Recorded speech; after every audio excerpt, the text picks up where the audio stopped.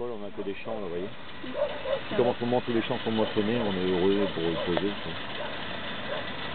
Mais alors là, en même temps, c'est quelle vitesse ou- Là, on a dit, hein.